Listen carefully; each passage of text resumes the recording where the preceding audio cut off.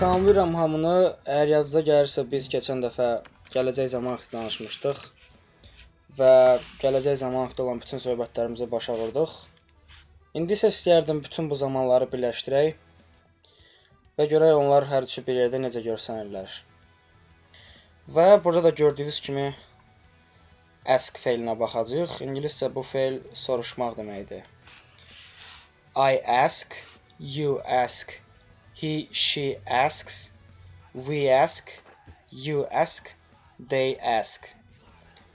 Müvafiq olaraq mən soruşuram, sən soruşursan, o soruşur, biz soruşuruq, siz soruşursunuz, onlar soruşurlar. Bu indiki zaman burada çətin bir heç nə yoxdur. Sadəcə yenə də burada s hissəciyi artırırıq üçüncü şəxsdə. Və keçmiş zamanda isə heç bir şey dəyişmir.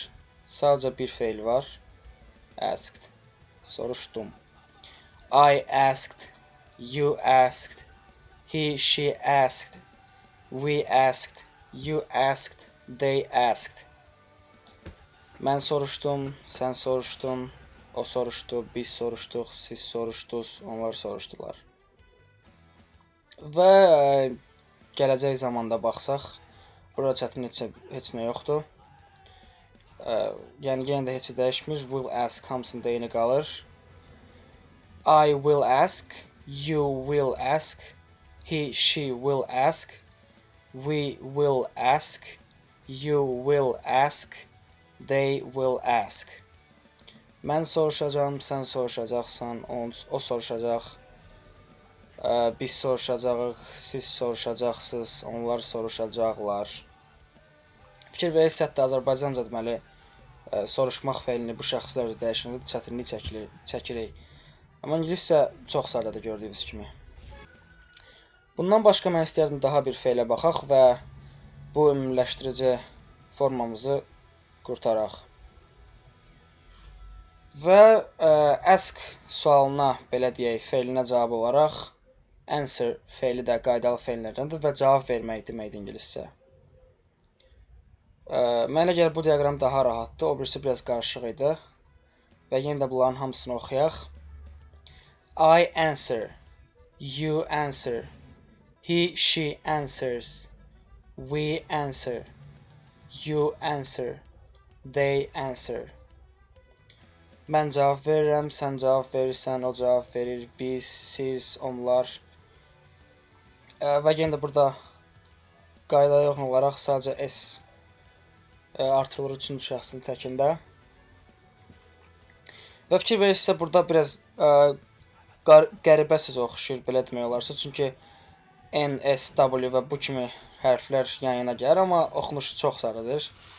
Və mən sizdən heç bir oxunuşları, yəni əzbər belə deyim, tələb eləmirəm. Sadəcə olaraq mən dedikcə onlar ə, qulağınıza yatsın.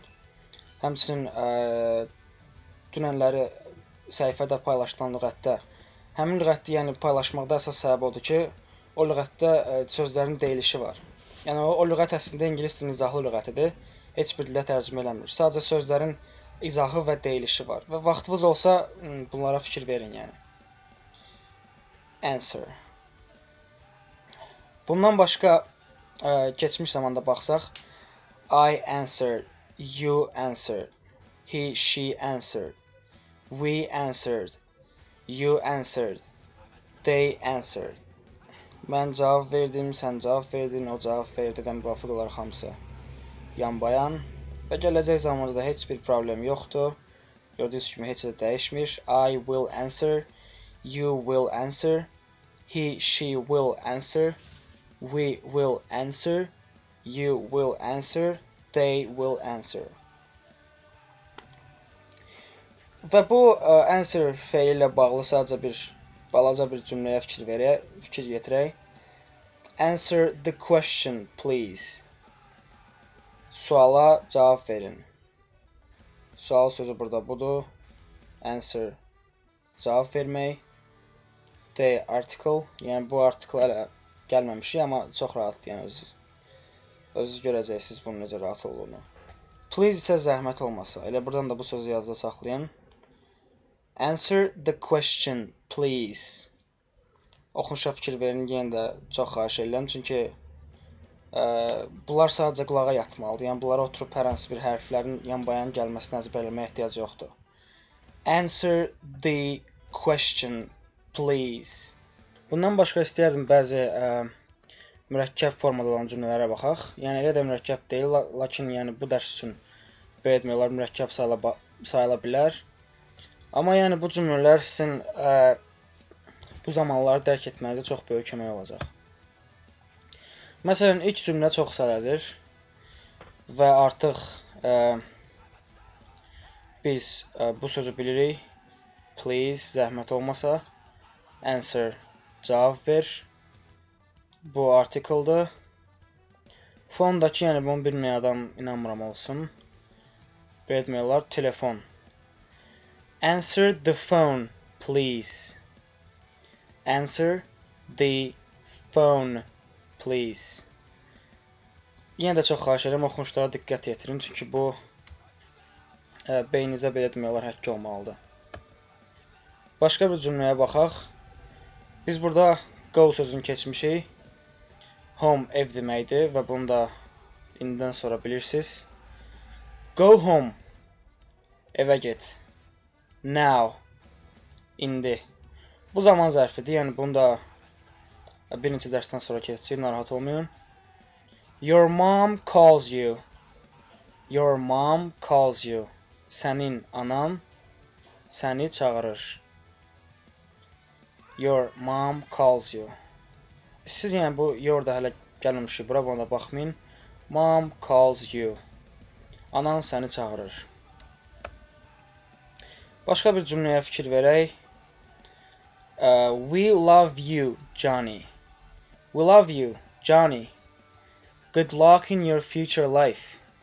Good luck in your future life. Biz səni sevirik, Johnny. Gələcək həyatında uğurlar. Əsas burada lazım olan biz səni sevirik. Başqa bir cümlə. I like və yaxud I love rock music. Mən rock musiqini xoşlayıram və yaxud sevirəm. Başqa bir cümlə I hate music. Bu feildə mənə elə gəlir təzə rast gəlirik buna. Bunu da yadda saxlayın. Hate, nifrət eləmək. Və yaxud zəhləm getmək belə deyək. I hate music. Musiqidən zəhləm gedir. Mənə elə gəlir ki, bu cür insanlar var yəni.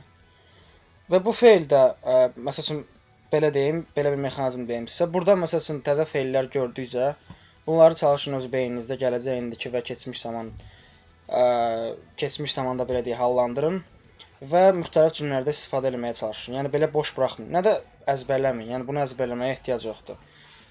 Belə deyək, sadəcə çalışın ə, beyinə yatsın. Başqa bir ə, cümlə We started a new project we started a new project. Burada bu balaca hərf artikeldir, buna fikir verməyin. We started a new project. Biz başladıq. Feil keçmişik. New project, yeni proyekt. Yeni proyekt. Çalışın bu hissəni də yadda saxlayın, çətin deyil çünki. Başqa bir cümləyə baxaq. They will finish in two minutes. They will finish in two minutes. Onlar bitirəcəklər və yaxud qurtaracaqlar 2 dəqiqə içində, 2 dəqiqədən sonra. Onlar 2 dəqiqədən sonra belə demək olsa işlərini qutaracaqlar deyə. Çünki işlərini deməsək bu cümlə Azərbaycanda biraz pis çıxır. Başqa bir cümləyə baxaq. Christopher will come to us soon. Christopher will come to us soon. Və burada fikir verirsinizsə, CH bu birləşmə sözlərdən asılı olaraq belə demək olarsa fərqli oxunur. Sadəcə bir şey yazda saxlayın ki, bu CH əsasən ingilis dilində ç hərfi kimi oxunur, amma bəzi latın dilindən ə, alınma sözlər var ki, və yaxud başqa dillərdən alınma sözlər var ki, onlarda ch k kimi oxunur. Yəni belə deyim, k hərfi kimi oxunur, k səsi kimi oxunur. Bunlara fikir verməyəndə əsas ə, belə məqamlar gəl gəldikcə mən sizə izah eləyəcəm. Və ph bu birləşmədə çox yerdə f f səsini verir. Christopher Christopher will come to us soon. Christopher bizə gələcək bu hissə. Come gəlmək feilidir. Christopher will come to us soon. Christopher Christopher tezliklə bizə gələcək. To bu ə, istiqamət bildirən sözdür. Az bizə, soon tezliklə. Christopher will come to us soon. Hey,